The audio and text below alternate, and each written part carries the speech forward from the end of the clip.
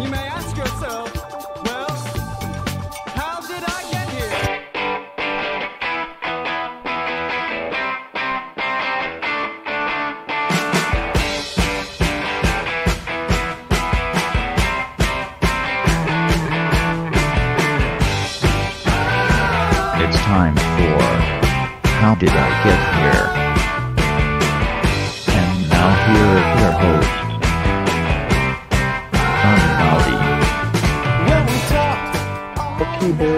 there, a little spinning view.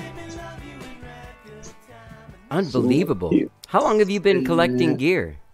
Some more over there. Oh man, probably maybe 25 years, something like that. Wow. Maybe longer. You know what I mean? Like I, I hear a record and then I, I research that record and say, what keyboard did they use to make that sound?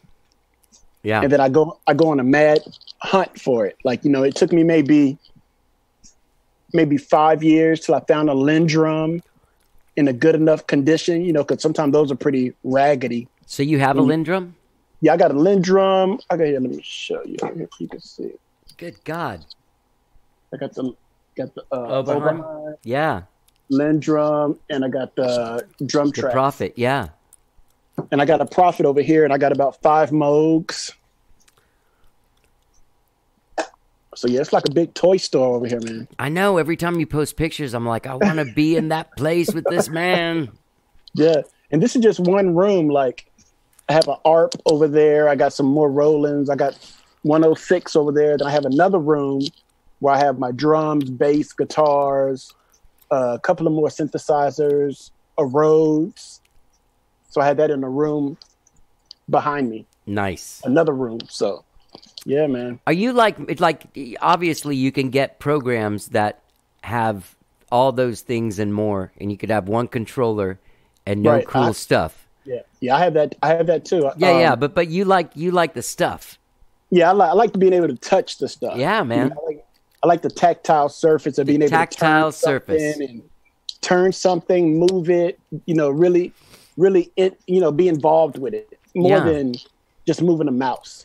What have you been working on? I've seen you've been working on stuff. What anything in particular? Yeah? I got a couple of I got a couple of movies I'm working on. Fantastic. Uh, I have like some some Netflix things I'm doing. Slowly getting back into working on some new Tee-Double stuff. oh, some of, good. my, some of my own stuff, you know, because I was sick for. I'm still sick, but I was really I was really sick for a while about it, you know, a year ago. Yeah.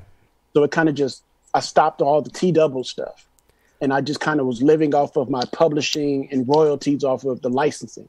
Right. Can I really quickly? Do you mind unzipping your jacket a little bit more so that that microphone doesn't hit the zipper? It makes a Oh, weird okay. sound. Yeah. um. Yeah. I noticed. Uh. What What is it that you're sick with? Um, I had kidney failure. Uh huh. So you So, were going uh, in for dialysis pretty much yeah, I'm, every I'm sti- yeah, I'm still on dialysis. So I do dialysis three times a week, Monday, Wednesdays, and Fridays. How are you feeling? I'm feeling a lot better now because my body has gotten used to dialysis, to being on that procedure. But at first, and still sometime now, but at first I was really tired. Sometime when I leave dialysis, I get real bad cramps, you know, where I can like kind of hardly walk. So when I get home, I have to like lay down for a few hours. Then, you know, after I start feeling better, I'll, I'll come up, you know, 'cause my studio's upstairs. So if I can't walk, then I can't get to the studio, right? Right. So I just rest a little bit, feel a little bit better, you know what I mean? Then come up here and get busy. Yeah. So my body, my body's used to it now, but it's still, it's still draining because you know dialysis is cleaning all your blood in your body, so it's circulating everything. So Yeah. it's it's a hell of a procedure, but I'm on a transplant list, so I'm waiting on that, and so that's moving along. So everything is going good. I got good good doctors, Good. good people around me. Uh, got good insurance, thank Good. God.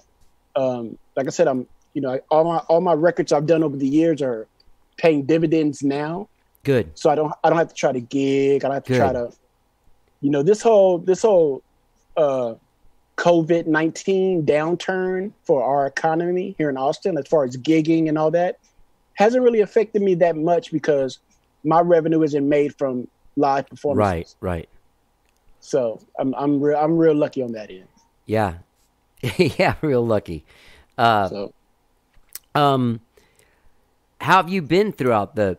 I mean, do you have to do you have to kind of keep yourself away from others because your Uh, health is compromised? Oh yeah, I, I, de- I definitely don't do the big crowds. Um, if I go shopping, you know, I'm, I might go shopping every once in a while, but that's more like in and out. And I do a lot of Instacart. Yeah. I have the groceries delivered, but I don't, you know, I've been invited to a lot of shows and different things. I just, I just don't mess with it. I just don't play with it. I'm like, it wouldn't be good for me to be out hanging out like that because not No. everybody's wearing a mask, right? Nope. Not everybody is taking their uh, like, like my mother used to say when she taught me how to drive, right? She's like, you can be the best driver, but not everybody else is. Right. Yeah. So you can stop, you can stop at every red light, and somebody will still run into you. Yeah. So you have to be. I keep that in mind when I go places. So I just stay at home, man. And I'm lucky I have the studio here, so I don't Yeah. have to go nowhere to do nothing. Yeah. So yeah, but it's it's been I've been all right, man. Good. Good. Thanks.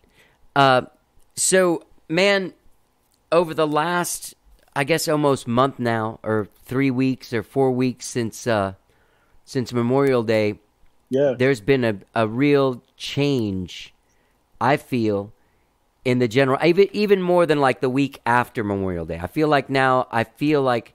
Do you feel after seeing so many protests and what I would call like kind of mini awakenings? Right.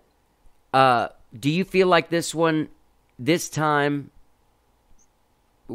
things are moving? Um. But you know, I'm I'm born and raised in Austin, right? Okay. and I've seen these type of shifts, you know, maybe 10 times, 15 times where something starts moving Yeah. and then it fizzles out and Yeah. every, you know, and, and, and of course that was before social media, right? Like social media really helped it this time around where everybody's online, everybody's pushing it. I feel this time it could be, it could last longer. It could be a better impact because more people are involved and more people are the younger generation, right? Like younger younger folks are saying, "Hey, you know, this isn't cool," and now they kind of have a, a support team where now they can talk to their parents about race. Now they can talk to their grandparents about race. Now they can talk to their friends about race. Now the conversation is a little bit more open and not so much in the shadows now, which I think is which I think is great and amazing, right? Because everybody should should be treated equally, should be treated fairly, should get the same amount of respect, no matter who you are, what you look like, any of that. And and now I think because of the way you know the pandemic is and a lot of other stuff, a lot of different ethnicities and races are kind of getting treated the same way. So some people are starting to kind of see, oh, well, that's kind of how black people were kind of feeling with it. You know, like people with, with who don't want to wear a mask. Why am I being discriminated against? Why can't I shop here? Right. Right? Right. It's kind of like you think, you know, when black people couldn't go into certain stores and buy because their skin color, be- you know, that's dumb, right? Yeah. So I think people are kind of equating the two. They're trying, they're trying to put it together now, and I think it's it's really becoming a real beautiful thing where if we keep the momentum going, Yeah. we can make some things happen. Now, if you know everybody has a short attention span because of the social media era, where people will be excited for a couple of months, like we've been, and then the new thing will come, and everybody will kind of forget about this. That's what I'm kind of worried about. That's yeah. That's the thing that I I w- would hope that this energy would carry on at least through the election, not just on a presidential level, but on a local level, where people will start putting into place Totally. different-minded people I agree. on purpose. I agree. Yep.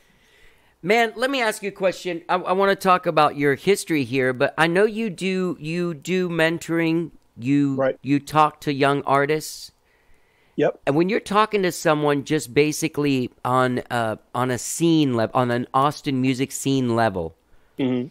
if you talk, if you're t- like, what is the what would you tell a young black artist that you wouldn't tell a young white artist, or wouldn't have to tell a young white artist?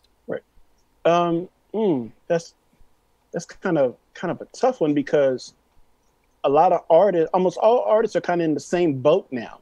You know what I mean? Like they're trying to make a living. They're trying to, you know, break out of the scene. They're trying to become that next thing. I think with black art, what I tell black artists is, especially with hip hop and like R and B, I tell a lot of them that our genre of music is like punk rock, right? You have to think outside the box. You always got to be thinking over here and not following the mainstream and not following Billboard, not following Rolling Stones, not following those things, but sticking over here, creating your own thing. And it might take a while, but the stars always align. You know what I mean? Like eventually it'll it'll shine on you where what you're doing will be that thing. Cause that's kind of like how I was, right? I I went my own route when a lot of people were doing this other thing. I was like, let me try this licensing thing. Let me try building the Tee-Double brand. Let me try to do this. And a lot of people thought I was crazy doing it. You know, like when I did my uh, my Black Mike's Matter album that I did like four years ago. Right. When I did that record, everybody's like, "That's that's a dumb idea. Why would you do something like that?" But I looked at it as being like Austin's Marvin Gaye. Let's get it on, capturing a moment in time of what's happening. And here we are again with that same energy happening again. So that project was very relevant. Yeah. So you have to think ahead. You have to be a forward thinking person. And so I always tell young young black artists, you know, don't get discouraged. Don't think you live in Austin and there's no place for you to do hip hop or R and B. A lot of black artists say, I live in Austin, it's a white city. There's no place for me to do what I do. But there is. You just gotta make your own, you gotta chisel out your own space. And you'll respect your craft more after you get through chiseling it out you know, because I'm born and raised here. I've never moved away to New York, LA, Atlanta, and tried to do a career there, but I've had a very successful career being here in Austin, probably more successful than quite a few rock artists that live here. Yeah. You know what I mean? So just, you know, just think outside the box. Don't try to follow other genres. Create your own your own lane, so to speak. Do you so you would there's no do you basically what I'm speaking to is like what we saw Jackie stand up against Right. uh last week Jackie Venson when she basically was like hey you know on on this festival there's not been uh, Yeah, any black artist. Yeah. a black headliner since mm-hmm. 2016 or Yep. whenever that was I, I might Right. be getting the date wrong are those I mean what do you attribute that to? Like, what is the whiteness of Austin, and where do you go? I mean, I understand that you. I mean, I think I think more I think th- those type of situations when artists aren't getting booked yeah, is is not from a a lack of a white promoter not liking hip hop or not liking black artists. I think it's just not being connected. There's no community connection. They don't know who's doing what. right, Because in Jackie's thing, when they were talking about that, they were saying, "Well, there's no there's no black artists big enough to headline." yeah, besides maybe two groups, which is which is false. There's tons of bands here who are doing great things, who are selling records, who are touring at the time, who are doing amazing things. They just don't know about it. So Right. I think they needed to bring somebody in, and that person could be Jackie or whoever. They need to bring somebody in who's plugged in to this side of the tracks, so to speak, to say, hey, these guys over here are doing great things, book them. Like I don't think you know, having an all black blues on the green festival thing is amazing. It should have happened years ago, right, right? But I think it should have happened because the talent required it, right, not because the pressure was applied right, right. and it became a and it became a branding marketing disaster. And they Yeah. had to do something fast. That's how I looked at it. Yeah, You know what I mean? So they were kind of, oh, what do we do? What do we do? Like, okay, let's let's do an all black one now. It should have it should have happened a long time ago. I'm glad Jackie stood up like that. Like I've done that too for shows. There's there's venues that were around where I said, your dress you won't allow certain people in because of their dress code on a Saturday or on the weekend. I'm not playing there on a on a on a Wednesday. I'm not playing there on the Thursday. And I know a lot of artists can't do that because they haven't, you know, amassed the ability to, to sustain themselves yeah, without a gig, and that and that's where it gets tricky. Where they're like, this venue might be racist, right? They might have an overly racist tone about their place, but they're willing to pay you fifty dollars. You're not getting booked anywhere else, so you might say, uh, "I guess I'll overlook it tonight." But I look at it like if you do that gig that way, they'll keep doing that yeah, and they'll never they'll never give you your genre or anybody that looks like you that level of respect because they'll be like, oh, we're just give fifty dollars and they don't care what we put online. Where I would be like, no, I'm not playing. I'm not playing your show. And I've been offered you know thousands of dollars to play gigs, and I'm like, I'm not doing it. I'd rather stay at home. And Yeah. that's why I kind of stopped performing so heavy because right. I just couldn't put myself out there just just to be rapping. You know what I mean? Like I, I I I treasure who I am. I treasure my craft more. I treasure my fan base and my community. That a lot of people look at me to be a leader. So I'm very cautious of what I do. Even with my nephews, my nephews look at my Facebook and Instagram and they see what I do. So I would try to be positive so they can see it and be like, okay, Uncle T stood up for so and so and for himself. Okay, now I can do it too. So I have a lot of eyes on me. So I have to be real conscious of what I do. I just can't be running around like, you know, being crazy. Yeah. You know what I'm saying? Yeah, can I tell you something? One of the things that, one of the reasons why I've always really liked you is just that thing that you said that you your nephews. Like, hey man, I gotta I gotta be a stand up guy for my nephews. You're a very, very human person. I gotta I've be, always man. I've always appreciated that, man. Appreciate that. Thank you. Thank you.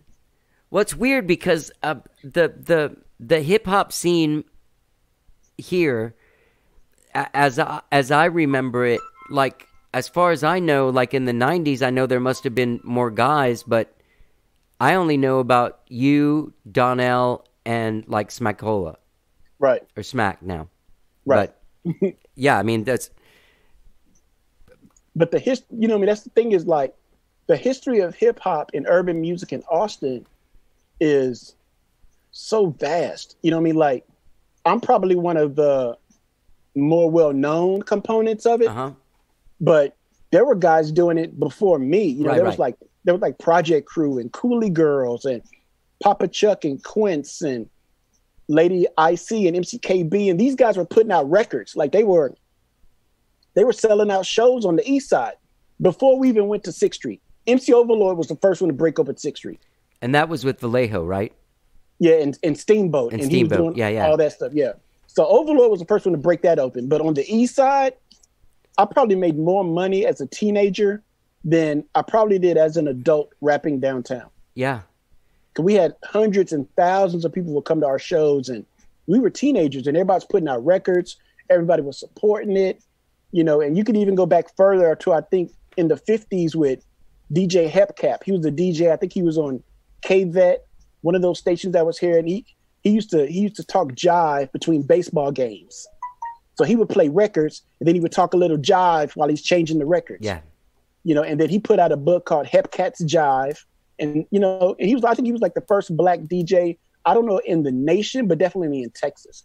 DJ. So the black music goes way, way back. You know what I mean? You, I mean, you have a great knowledge of this, and I've never really known too much about it. Do you mind going into like as far as like like how old were you when you became aware of of a rap scene in Austin or a hip hop scene in Austin?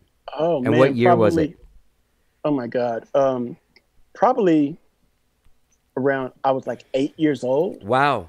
because there were you know because i went to maplewood elementary and there was already guys who moved here from like new york and Uh-huh. other places and they were breakdancing and rapping and they were doing all this cool stuff and i was like damn that's you know what is that that's kind of cool so i went to the mall one time with my mom and there used to be a store called uh it might even called spencer's maybe Yeah. spencer's i think and um i bought a book called uh, hip hop lingo or something like that. And it had all these rap, had all these rap phrases in it, right? I was like, I'm gonna learn this. What is this? But that was the first time where I was like, okay, this is cool. So at eight, I got I got hip to the music.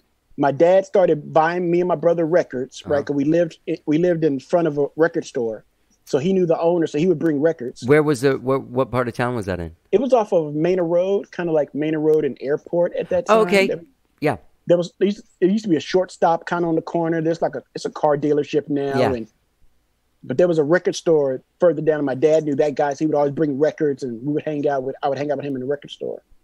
And so we started getting these hip hop records and Afrika Bambaataa and Yeah.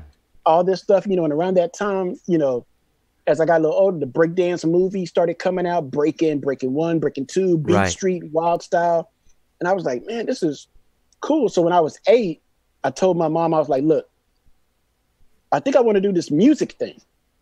I think that's my calling, right? And she was like, okay, well, it keeps me out the street, right? It keeps me from the bad crowd. So I said, I want a keyboard.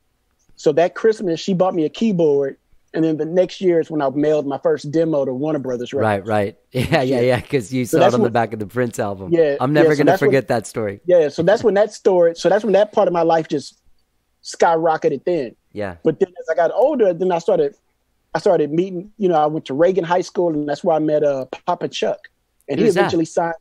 He's a he he was a local rapper here, and he signed to. He was like Austin's first major label rap artist. Okay. He signed to Relativity Records, which had Lords of the Underground, Yeah. Digable Pl- yeah. uh, all them. He signed to them, and so I went to high school with him.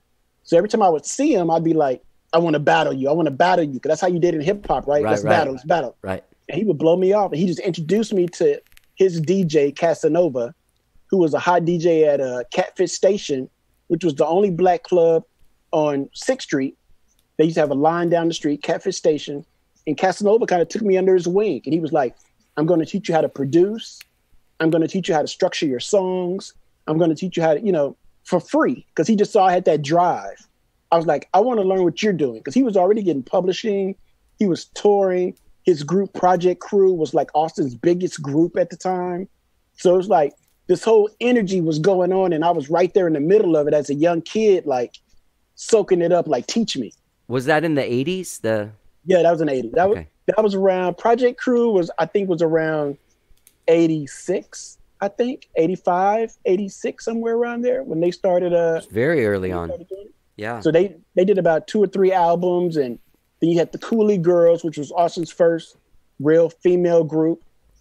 Uh, then you had Candy Fresh, who went to Reagan High School with me as well. She signed to Two Sweet Records, which was founded by uh, Fresh Kid Ice from Two Live Crew oh wow. Okay. and Two Live Crew had um, they had a, a a store on 12th Street called Miami Bass, where they sold speakers and records. And so every Sunday, I would go there. I would have my mom drop me off there, and I would play them my demo tapes. I'd make a new song, take it there every Sunday, trying to get a record deal with them. So Austin has a lot of amazing things. So when people talk about Austin doesn't really have hip hop and nothing really happens, they they just don't know. Like there's tons of stories, tons of Right. things where artists are doing amazing stuff. M- my knowledge of hip hop is pretty limited. Right. I've always been in the rock world, and Mm-hmm. but I've I've watched this uh, hip hop evolution documentary series on Netflix since it's come Yeah. out. yeah.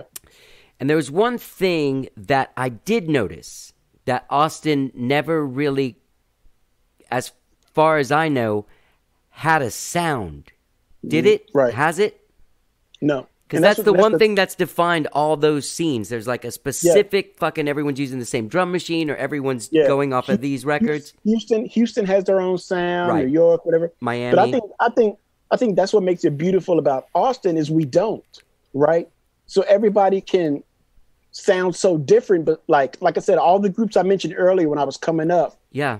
none of them sounded alike, but they were all fucking amazing. Yeah, yeah. Like if you heard a Project Crew record, you knew that was Claymo rapping.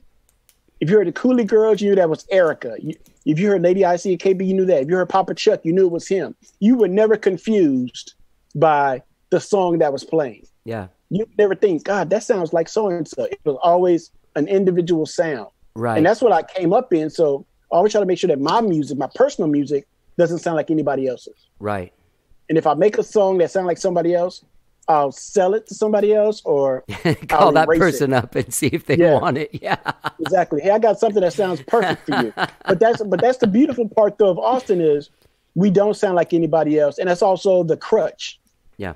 because labels want something that sounds familiar Right, to right. sell to the masses. So when they come here, they're like, You guys are amazing, but we can't do nothing with it. Just like um, you know, Def Jam Records, right? Like Russell Simmons label with with and all that. Well, they had the Def Jam South, which was in Atlanta. Right. and Scarface from Houston was the president, and he signed Ludacris, right? But a lot of people don't know Def Jam South was in Austin first, Oh, really? and they were here. It was a guy named Kier Worthy. He was the first hip hop guy to work for South by Southwest, Huh. And he was here looking for bands. Like I was one of the young guys. He was kind of grooming to to to be on Def Jam, Right. but I just wasn't ready. And he, you know, and a lot of the bands here we were too raw. It would have took too much work to kind of chisel us because we didn't have a scene, right? Like you could go to other places and they already got an infrastructure Right, right. to mature those bands. We didn't have that. So he left Austin and then he went to Atlanta. Then that's where they got Scarface. They signed Ludacris and Ludacris became the big artist he is today. But Def Jam South was started in Austin first. Wow. Uh, yeah, that's what I was gonna say. Is like, how did how did you find out about these bands like in '85 and '86? Like, was there a place you could go see them? Did they do? Yeah, well, a lot a lot of the bands you could see like, you know, Juneteenth was a big way to find new bands because Okay. there was always performances. Uh, you could go to Givens and there was always be bands performing. And with me being a little kid, I would either be with my mom or with my brother, Right. and I would just gravitate towards the music and be like, "Damn, who's that rapping? Like, who is that?" And I would go up to them and be like, "Hey, my rap, my old rap name used to be Whistle T, before I became Tee-Double." Okay. and I would go to them and say, "Hey, I'm Whistle T. Uh, I rap." They'd be like, "Oh, good to meet you, kid." Right? Because I'm just a little youngster. Good to meet you, kid. And every time I saw them, "Hey, remember me, Whistle T?" Yeah. Okay, okay. Then eventually they were like, "Man, what do you do?" And I was like, "Man, I rap." And they were like, "Let me hear it." And I was always good with freestyling. Yeah. So I would always freestyle. and They'd be like, "Man, you know, come to a show, come sit in with us, you know, come get on stage." And that's just kind of how I worked my way in there. And it was a it was a good network of groups. Like a lot of groups were already making records, so they would say, "Hey, come, you want to go to a show? Come carry my records." Like I carried a lot of rappers' records to get into the show, just so I could see how that works. Yeah. I've been at shows where Papa Chuck would come and everybody would stop what they're doing because at that time he was like our rock him. He was like Yeah, our yeah. LL Cool J. Yeah. You saw him, you were like, oh shit, let me give him the mic, right? Yeah. So to see that type of energy, you're like, damn, I want that. How do I get to that point? And Casanova was always like, hey, work hard, come over here, sit in the studio. Like, I've been at Casanova's house when he's had the RZA from Wu Tang over there. He's had uh, a lot of famous people, and I would just sit on the couch Yeah. and just be there as the young guy and not talk. I wouldn't say, "Hey, I rap" or "Listen to me rap." I would just sit there and soak up the game. And he would just say, "You can come over anytime you want to. You can you can use my equipment. You can whatever, but just sit there and be quiet when people are here." And that's how I got so much game from DJ Casanova. Like we we still talk today. Like that's my that's my big brother for real, man. Because he he looked out for me at a time where I wasn't like other rappers right? I wasn't trying to sound like I was from New York. I wasn't trying to sound like I was NWA, right? Gangster. I was more like, I just wanted to rhyme. I just wanted to rap. Just give me a beat and let me rap. And he was like, man, let, let's let's let's work on that. Him and Andre Walker. Andre Walker's another another legend here. He did South by Southwest after Kier Worthy. And Andre Walker did a lot of R&B showcases for South by Southwest. A lot of people don't know that part. We had a lot of R&B showcases, soul showcases back in the days, and Andre Walker did that as well. And then when he left South by, he brought me in, and that's when I got hired at South by. Okay. I didn't. Uh, how long did you work there? I worked for South by for about three and a half years, four years. What years were those? Uh, that was like, I believe, 97 to like 99, 97 to like 2000 maybe, or 98 to 2000, something like that. Right. So that was during the same year I got my record deal with Good Vibes out in LA Okay. while I was working for South by. Like a lot of things in my life are like intersecting, right? Like a lot, I was, re- I'm one of the real lucky ones where a lot, I was, I was in Austin at the right time with a lot of things happening. Like I worked for Arista Records when that was here. You know, we had the Yeah, Arista yeah, yeah. office that was here. I worked there. With Cameron.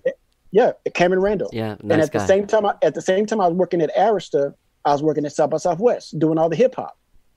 And then this music conference called the Gavin, which was in San Diego, South by Southwest was going to fly me out there to uh, be a South by Southwest rep and look for talent. 'Cause that was like the hip hop, the urban conference at the time. I went out there. I had a chance to rap. I got a record deal with Good Vibe Recordings, you know, and and because I worked at Arista Records, I kind of knew how to construct contracts. yeah. So when I got my deal with Good Vibes, I got a label deal. I wasn't signed as an artist. So since I had a label deal, I came back to Austin and I signed Mirage, who was my childhood friend here, Okay. to the label. So he got to own his masters and his publishing and all that type of stuff. But Cameron Randle was um, a great dude, man. He um, he took me in his office and was like, "What do you want to do?" You know, and I guess he was thought I was gonna say, you know, I want to rap over there. I said, I want to run a label. Yeah. I want to have a label and sign. I want to sign all my friends to record deals. He was like, okay, interesting, interesting. And then every time an artist would come through, he would bring me in his office and just say, sit on the couch. And so I got to see how contracts are negotiated. And he gave me a he gave me a contract one time, like an old one, and said, take this home, read it, highlight what you think is good and bad about this contract, and bring it back tomorrow. I did that like homework. I did it, brought it back. The next day, we sat in his office, and he was like, "That's right, that's wrong, that's right, that's wrong. This is a good term, that's a bad term," you know. And I was just a kid sitting there, just soaking it up. You know what I mean? So, I've been I've been lucky to have so many people to just pour that knowledge on me. That's why I try to give it back with Urban Artists Alliance, and when I talk to young artists, because these guys didn't have Cameron Randle didn't have to do that. Right. You know what I mean? Roland Swenson didn't have to take me in to work at work at South by Southwest because he didn't know me from anybody. You know what I mean? Like I didn't I didn't I didn't do a job application at South by. Andre Walker just walked in with me one day and said, South by Southwest, I quit, but here's my here's the new guy. That's how I got the job. and I didn't even know we were going to South by Southwest that day. Andre just picked me up, said, "Let's go eat." He's like another big brother. I said, "Okay." So we went to eat, and he's like, "Let's go riding. Let's go for a ride." And we wound up at South by Southwest at that little house they used to be in. And he walked in and said, "Yo, Roland, I'm done, but here's my replacement." And I didn't even know I was going there to get a job, but that's I got my job at South by Southwest. That's awesome. So it's it's crazy, man. Um, I was going to ask you about uh, that label, Arista Austin, and Right. there was also uh, BMG was here for a while. Remember that in the nineties? Yep. And then there was one other one that was here. Uh, well, you said that the uh, Def Jam was here. Yeah. I have my own ideas about this, but why do you, why do you think that sort of like big industry doesn't work here, or hasn't worked here?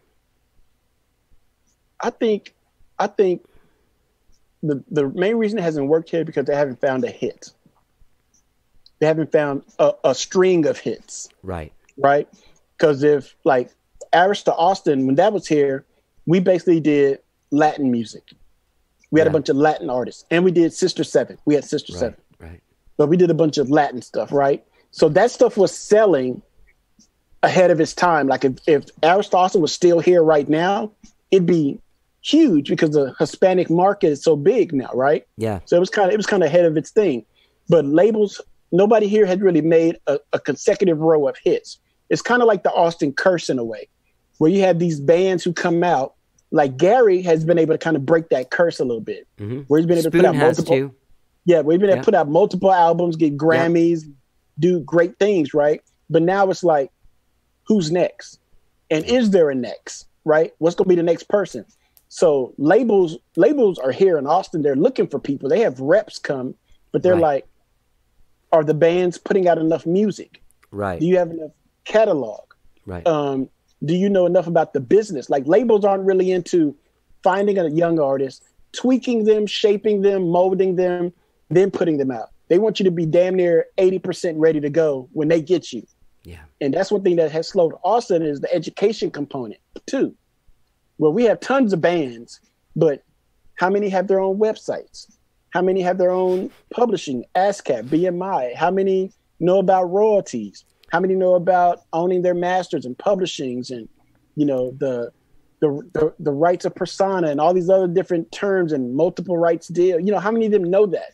Very few, and very few want want to learn. They Yeah. rather have somebody do that for them, and in turn, they give up big portions of their their ownership. And then when it's all said and done, nothing happens. They're like, "Damn, T, I lost everything because I thought this guy was going to be my way out, and it wasn't." Right. So it's a it's a bunch of contributing contributing factors, but I think the main thing is labels don't see radio hits. That's what sells. They're not trying to break a new. They're not breaking new artists anymore. Right. They're not doing that. They're not. They're not trying to make find you as a youngster and make you into the next Michael Jackson. Right. They want you to damn near already be working on Thriller now, Right, right. Yeah. and they just hop on the back of that. Yeah. Yeah, it took a lot of like no one really thinks about that. Like there was Michael Jackson was putting out records from the time he was 5 before he Yeah. put out Thriller. Yep.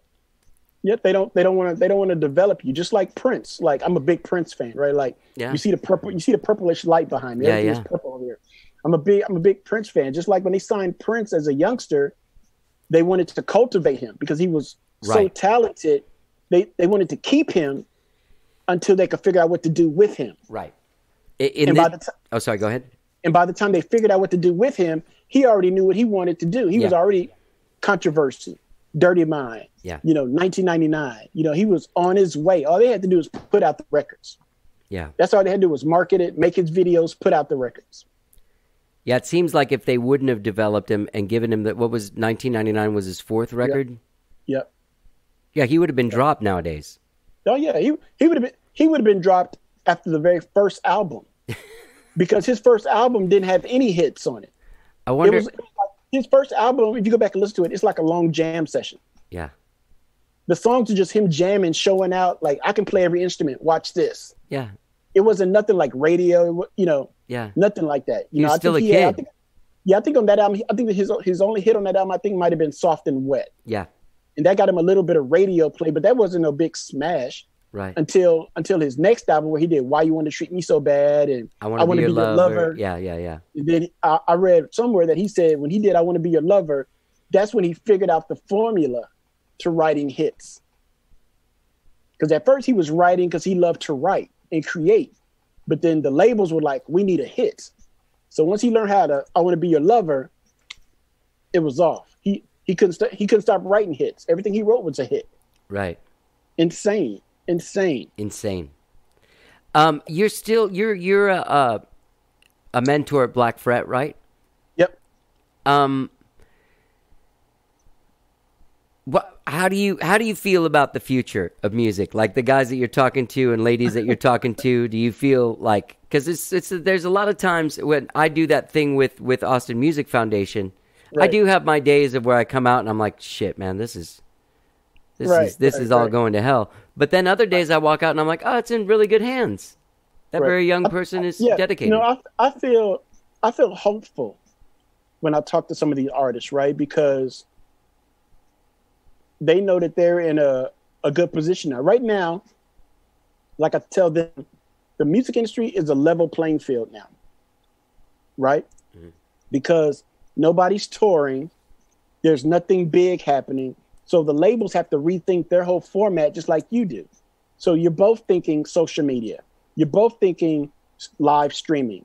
You're both thinking Cash App, how to get funds from your performance. So you're thinking the same way. But with an independent artist, you have more freedom to do different things. You can try this one day, it doesn't work, you can flip it the next. A label, they got a marketing plan. They either say, We're going to promote you this way for three months.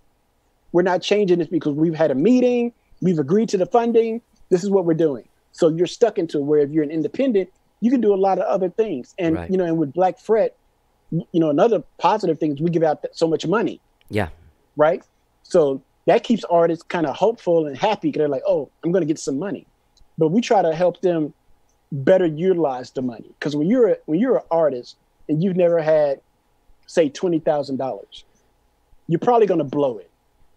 You're probably going to want to go in a big studio, get a whole string section, hire all your friends, and before you know it, your grant is gone.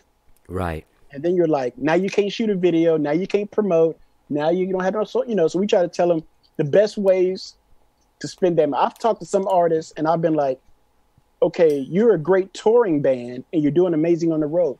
Fix your van. Yeah, Get a new starter in your van. yeah, Right? Don't don't go press up a bunch of CDs. Like fix your van. That's where you're making your money at. yeah, You know, fix your tires. You know, so you gotta you gotta kind of come at them from a different perspective, and they listen to me more because I'm still an artist. yeah. I'm like I'm not I'm not some you know old Right. guy who did it like in the 70s and telling Right. them how we used to do it. I'm like, this is what I'm doing right now, so this is what you should be doing. This is what works for me. Right. So I'm I'm I'm real hopeful with the bands I'm talking to, and you know I, I did a couple of uh Austin Music Foundation mentoring things as Uh-huh. well, And the guys that I talked to there, they still write me on Instagram and say, "Hey, I took your advice. This is what I did with it." And I'm like, "Awesome." Yeah. They're like, I, I was able to get this this contract negotiated, and I saw there was a clause that you mentioned for me to watch out for. It's not in there anymore. And I'm like, that's what I'm talking about. Like, I like those type of emails and calls where people are hitting you back and like, yeah. yeah, you made sense. You were right when you told me whatever, whatever. So, I'm ho- I'm hope I'm hopeful about it. You know, I want to see artists not make the same mistakes I made Yeah. coming up Totally. because I think when that happens, that's a travesty for the music scene. When when artists are making mistakes that we made when we were like 15, Yeah.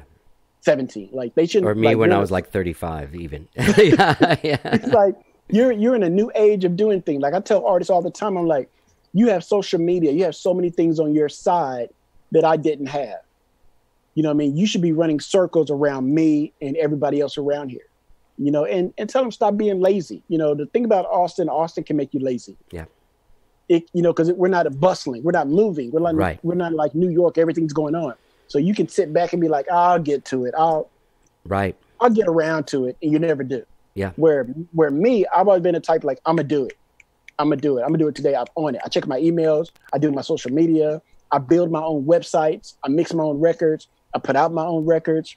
I do all my own licensing administration. Uh, everything, because I that way I know it's getting done. Yeah. You know, so Yeah, and also, I mean, you keep up, you keep your overhead realistic, and you Yeah. know how to work it. You're smart enough and and and into it enough. Can I just quickly? Is that a Ghostbusters jumpsuit? yeah, yeah, it is. Yeah, it is. Hold on, let me show you. The That is the coolest, man. All right, sorry to take you out of that. Um, all right. Uh, how? Uh, what about uh, what about the current scene of hip hop? Mhm. What? How do you? Or who are your guys? Or what do you go the see? What do I you? think I think the current scene is is starting to bubble back up again because a lot of these artists are relying on performing Right. and there's nowhere to perform now. So they really got to put their brains on the table and say, how can I do this? Because you can live in Austin and have a career somewhere else. Yeah. So you don't have to say, I'm not doing anything in Austin, so I'm done.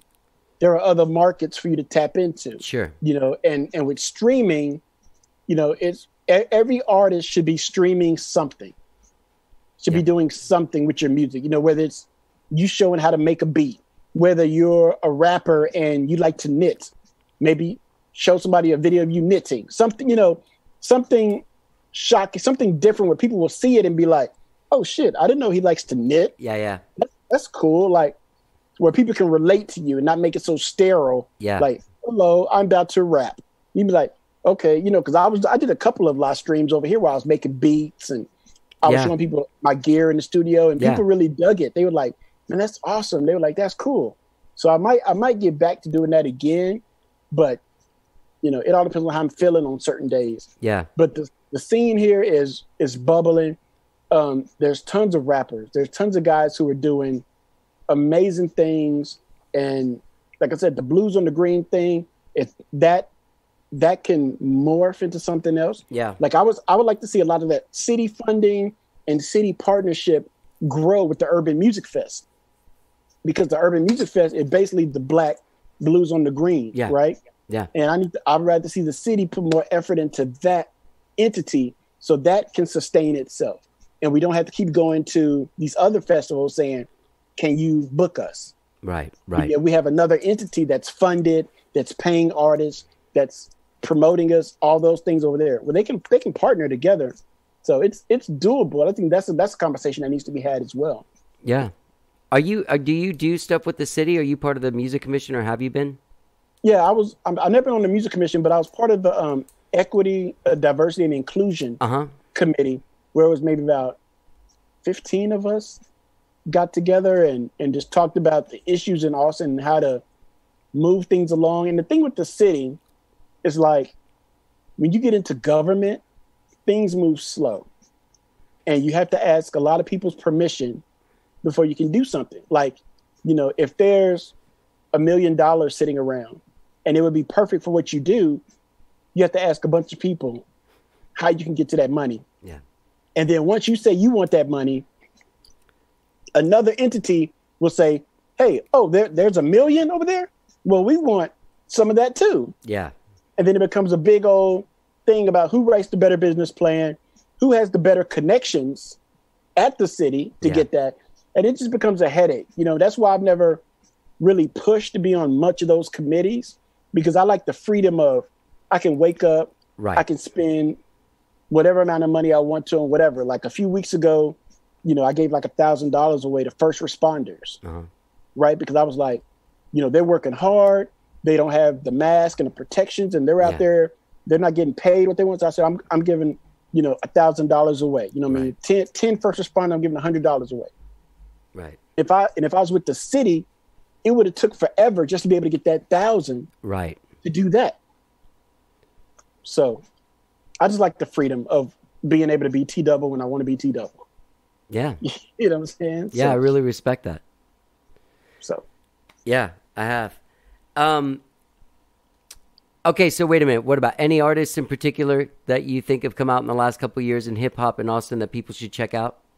I think people should definitely check out Quin NFN. Um, he's he's a young guy from here in Austin. He just signed a deal with uh, Universal Universal Records, Uh-huh. I think, through a through a sub a subsidiary label. Okay. And his videos are like a million plus views. Like he's killing.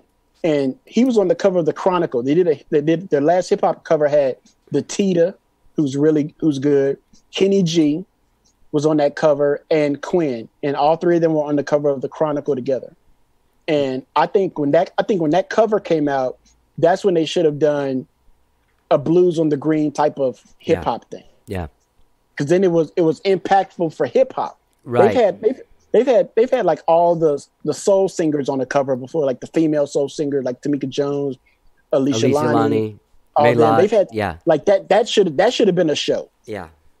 So there's been opportunities to attack it and embrace it, and it's kind of been glazed over. But those guys are really killing it right now. They're really working hard, and you know, my thing with with artists is, I just hope contracts are structured long term, because now music industry careers die so fast, and soon you'll wake up one day you don't have anything going on, and you don't have any royalties coming in, you don't have any publishing, you don't have any licensing, no sync. I hope those things are in place for these artists as well. Yeah. You know, because that's what's paying off for me now. Because when I got really sick, I couldn't do anything, Right. but I was still making publishing. I was still Yeah. getting royalties. I was still getting sync money. You know, the things that I did prior are paying off now. So I hope that these artists have somebody who supports them, not not because they're getting a commission from them, right? Yeah. but somebody who's really on their team Yeah. who really cares about them and says, "Hey, man." Like I, I talk, I talk to some of the artists. I'm like, "Hey, here's my view. Here's my opinion of what you should do. This is just free game. Now go do whatever." Yeah. So, Hmm. but the scene, the the scene is is happening. Um, a lot of a lot of the rappers, like I said, they're they're they're punk rock. They're finding their own ways of getting online and doing their own thing. Where now companies are coming to look for them because, like I said, Quin has a million plus views. So Other artists are, are are racking up a bunch of views. Like they're doing they're doing a lot of things now. So Uh, as long as they keep that, mo- it's all about momentum Yeah. as long as you keep forward momentum and sustainability, you'll be all right with whatever you're doing. Right. Don't try to chase anybody. Don't try to look to your right because you're, you know, who's running with you. Just do your own thing, Yeah. and and it'll happen. It'll work. You know, what I mean, I'm, I'm proof of that. You know, Yeah. what I mean, like I've I've never chased any other artists in Austin ever. I just did my own thing, Yeah. and I've always been at the right place, the right time, doing the right thing. Yeah. So Yeah, I feel like that too. I feel like I've always been a guy that doesn't follow what's happening in the I mean, I'm involved, but not try artistically to exactly. yeah. Exactly. Because when you, you know, especially when you make music, right? Like when you make your music, like I have people coming to me now who are, are listening to songs on albums I did years ago and saying, Hey, I heard you on Breaking Bad. Heard your song on Breaking Bad and when I researched you and I found some of your older stuff and it's amazing. And your X X amount of songs keep me going during the day because they're motivational or Yeah. whatever. You know, and, and I, I write the songs for that moment of how I'm feeling, not knowing that it's going to affect other people. Right. But it does because it's it's authentic, it's pure. Um, I don't try to be that big rapper guy Yeah. around town. You know what I mean? I don't try to do that. I just do my music. Yeah. You know, and I and I and I try to help artists and you know try to keep the energy positive, man. Yeah. Yeah, you've always been great at that. I have to tell you something. Last time I saw you was at this party at uh, what's David Messier's studio? Oh, same sky. Same Sky Studios. There was a party there, and I think that must have been almost like a year ago or something. hmm But you, Yeah. your energy and your eyes are much more lit. I can, I can tell Yeah. now that you were feeling bad then. Yeah. No, I was I, like like at, at that point I was I, I was like, man, because that's right when my kidneys were Yeah. going out. You, yeah, you So didn't, like you didn't seem like comfortable standing there, and I mean Yeah, so it's like- physically. yeah. yeah. so I had I had like you know pain, uh, you know s- swelling on my legs, like Yeah, yeah. I had a lot of stuff going on, but I was still out and about, right, to like see people and do stuff. But you know, it's like I've lost thirty pounds. I've lost thirty pounds since I started treatment. I feel better. I don't have a lot of pressure on my heart, It's great. And it's like I'm fe- I'm feeling good. You know what I mean? Yeah. Like I, do- I do I do feel better. You know what I mean? Yeah, your energy is is uh is much more up. I'm very Yeah. happy to see that. Yeah. Um, and man, I And know we. and I love and I Oh, love sorry. and I love David, man. I I, Yeah. I love Same Sky, and a little plug for him. He worked with the Grammys. Yeah. And I don't know if you saw it, but they put together the PDF for the coronavirus for studios yes, with like guidelines, and I, I think it's pretty awesome. I think everybody should check that out. is he still the president of the chapter? or He's moved on. No, I don't. No, I think he's. I think he's a trustee now. Trustee, are you part of the Grammy? No, I'm not. I'm not on the board. I'm just yeah. joking. No, I'm not. I'm not. I'm not on the board. It, it was. It was fun being on there for two years and to be, you know, the first rapper from Austin on the Grammy board, right? yeah, And to come from the east side of Austin yeah, and to make it up to the Grammy board and really have a, a voice to help move things along, to make things happen. You know what I mean? So I enjoyed that experience and I take every experience and I learn from it and I move forward. One thing about me is I never sit back and, and rely on past things. Like when I got my stuff in Breaking Bad, everybody was like, oh, that's huge, yeah. right? Like, how big can you get past that? It's like And I was what's like, I can next? get- yeah, I was like, I can get bigger. Yeah. I can get better. Like that was a good moment. Now let me move forward. And I've had some great things since then. You know what I mean? Yeah. So yeah, yeah, man. I've been I've been like I said, man, my story is a unique one because I've been a part of so many things in Austin. You know, I was the first, only really the only hip hop artist to record on Antone's records. Because I, I recorded on the Beto and the Fairlanes album, Uh-huh. Salsified, which was on um, which was on Dos Records, and Dos was distributed This- through Antone's. right. So I'm the only rapper who's ever rapped on Antone's records, the blues label. So yeah. hey, I guess I could stop there for once. No, That's there's still more. I know there's still Yeah. more, and your uh, your drive and constant constant challenging of yourself artistically Yeah. is something that's kept you moving forward. so I'm uh, I'm always I'm always glad to talk to you, man. I'm glad you're feeling better. You look a lot Thank better. you. Thank you. Thank Uh, you, when this is over, I do want to come into that room Hell yeah, and do man. something. You are you are welcome to, man. You are welcome to. Yeah. Well, um, I'll put links to all your stuff, and I'll actually I'll, I'll put up our first talk. Uh, link to that Oh, if okay. people if people after this they want to hear a little bit more because I always I always got a lot of that that Prince story reminded me of how great that conversation was. Yeah, yeah, yeah, man. Yeah. Well, I appreciate it, Johnny, Yeah. man. Man, Always good talking to you, brother. I got number love for you, man. nothing but love for you either, man. I uh, I really appreciate you. I'm glad you're out there, and I'm glad you're feeling good and being healthy. Thank you. Thank you. Yeah. Thank you. All right, man. Thank you. Thanks, buddy. All right, man. Love you, brother. Bye.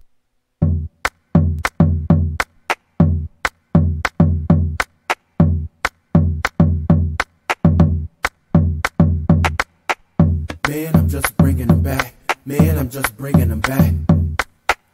Man, I'm just bringing them back. Man, I'm just bringing them back. I should get a plaque in my city for never being whacked while I spit these words. I'm traveling through time, I'm redesigning your verse, reconnecting your hook, but realigning your nerve. Soul search the crates, ship 'em across states till they reach their destiny next to me. It's on a turntable spin cycle. I ain't started making beats before I been nitro. Ain't no fly by night flow. Uh-uh. Man, I use out of orbit voices every time I broadcast. broadcast. Hard hat visit. I put your wax in the construction while I'm improving the form of structure. I get a piece of paper, write that, and then I find a melody, put a bass line beside that. Focus eyes that, play, record, sing. Man, this is how to do the thing, thing. Rhyme, man, I'm just bringing it back. Man, I'm just bringing it back. Beats, man, I'm just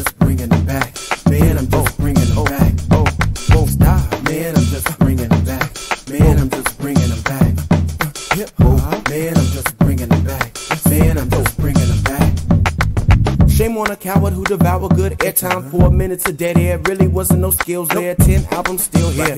Well positioned, plus making the moves is the mission. But times change, like days and moving minutes.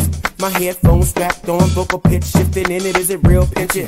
While it's throbbing from the low end. Friends came out the sewer when I blew up. I threw the 512 up. See my kinetic crew is up, we heavy zingers. And we so deadly with the flow, dead ringer for a pro.